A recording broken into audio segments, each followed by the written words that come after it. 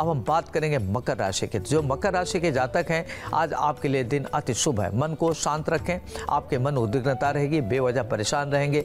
पड़ोसियों से विवाद की स्थिति हो सकती है तो विवाद न करें मध्य मार्ग अपनावें। यात्रा का योग बन रहा है तीर्थ स्थान पर जा सकते हैं। तीर्थाटन, देशाटन का योग बन रहा है नए तरह के कार्य कर सकते हैं। आज आप अगर दान करते हैं तो अच्छा रहेगा। और प्रॉपर्टी इत्यादि में अगर पूंजी निवेश करते हैं तो अच्छा रहेगा। शेयर ट्रेडिंग से धन लाभ होते हुए दिख रहा है। सावधानी क्या बरतनी है, तनावपूर्ण माहौल से बचें। उपाय क्या करना है? आज आप गायत्री मंत्र का जप करें। आपके लिए शुभ अंक आठ, शुभ रंग सफ़ेद, लक मीटर नौ। हरे कृष्ण।